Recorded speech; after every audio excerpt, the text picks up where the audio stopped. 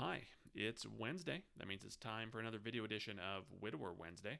I'm Abel Keogh, author of the book Dating a Widower, and today we're going to discuss how not to let past dates, such as the date of death, the late wife's and widower's anniversary, or her birthday, uh, dictate your future.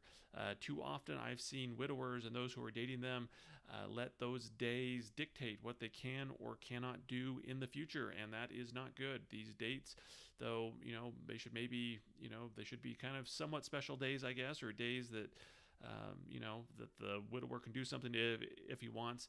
Uh, too often, I've seen them dictate things in the wrong way. For example, uh, I've seen numerous times where people think they can't get engaged or married in the month of June because that was the month, you know, that was the date she died, or or that was the month, you know, she died in June, or um, I don't know, her, you know, her birthday was in June or something like that.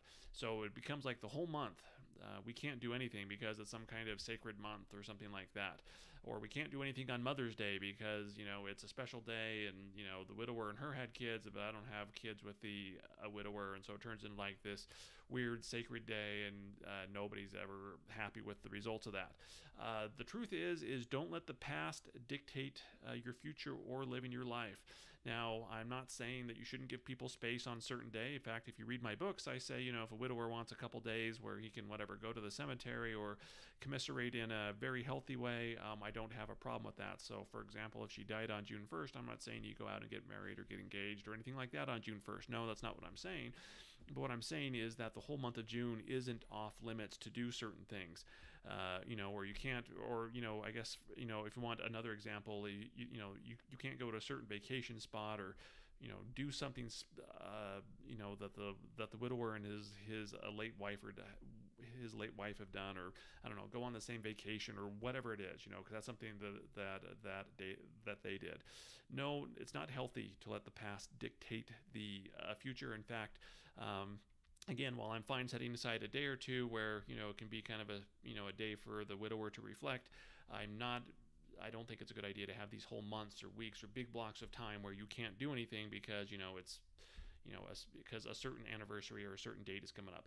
Let, let me give you a personal example. Uh, so, uh, Juliana and I were engaged in December, 13 months, by the way, after my uh, late wife died, and it was December 7th, if you want to know the actual date. Uh, guess what month the late wife and I were married? Okay, think about it. Think about it. Okay, for those of you who are thinking December, that is correct. The late wife and I were actually married on December 18th. Uh, despite that, though, you know, I didn't. That didn't stop me for any reason from getting engaged to Julie um, in December. In fact, if you want the whole story, the whole month of November and December and January are actually minefields because it's you know the date of death, her anniversary, her birthday. It's all kind of in there. But despite that, you know what? We still got engaged. Um, and if you want to talk about again the past dictating the uh, future, uh, if you want to know a little bit about how Juliana and or where Juliana and I got engaged, um, it was in a town called Logan, Utah. It's a college town. Utah State University is located up there. Um, that's where we got engaged. Um, guess what city the late wife and I got married in? Think about it. Okay, put your guesses up. Okay, okay. For those of you who said Logan, Utah, you're you're uh, absolutely uh, correct. Now, I didn't go and propose anywhere near the spot where the late wife and I were married, uh, but I did make the whole day fun and romantic. And so now, when Juliana and I think of Logan, Utah, guess what we think of? We don't think of the fact that that's where the late wife and I got married, uh, but the memories that we made there. It's become kind of our town, right? You know, there's a. By the way, if you ever go to Logan, there's a place called the uh, Bluebird. Uh, it's a kind of a it's a restaurant on Main Street. That's where Julie and I had our first date. You know, there's things like that there. We have all these memories. We've gone back to Logan actually a couple times uh, where we we've been able to get away for like from the kids for a weekend. We've actually gone up to uh, um, a Logan and spent just a, a, a, couple days up there, kind of on a little mini vacation. But see, the point is, is that. Um, you know, we didn't let these days, these, you know, like my engagement or, uh, you know, the place where we got engaged or marriage dates or anything like that, you know, again, you know, it, we didn't let that dictate when we were going to live our life. Now, yes, I would not have asked Julie to marry me on December 18th. That would have been weird and all kinds of things. But, you know, I did it 11 days before. You know, I mean, if I was supposed to block off months of time, you know, technically I shouldn't have even asked her to marry me until March or something because, you know, there's no association there with any, any of those special days. Uh, but, you know, the really the whole point of this is, is that you can't live in the present if you let the past dictate your behavior. It's okay to get married the same month the widower in the late month got married. Just don't do it on the same day. It's okay to plan a trip um, to the same spot, you know, to this to, to a place where maybe has significance, um, you know, for the widower and the uh, a late wife. You know, it's okay to do things like that. Um, it's okay, um, you know,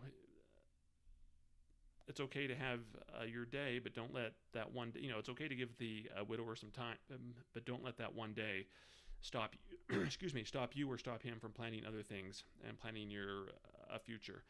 Uh, you know, when Julie and I were first married, there might have been some sensitivity around some of those days, but we, again, you know, we never stopped that from living our lives. Uh, we've gone on, and you know, the longer we've been married and together, the you know, the less significance, you know, days like the date of death and um, my late wife and mine anniversary and her birthday have. It's just you know, it's part of a living. But you know, I don't block off three months of my life because you know of all the sad things or happy memories even that have happened then. So you know, that's my advice. Is um, you know, if you want to get married in June and that happens to be the you know the month that they got married, um, that's fine. Work it out with your a widower. Again, don't do it on the same day, but you know, do it whatever, two weeks before, two weeks after. Just make it about you guys. And again, don't let the past dictate your future. It's about living in the present, planning for the future. That's the way you're happy. That's the way you move forward.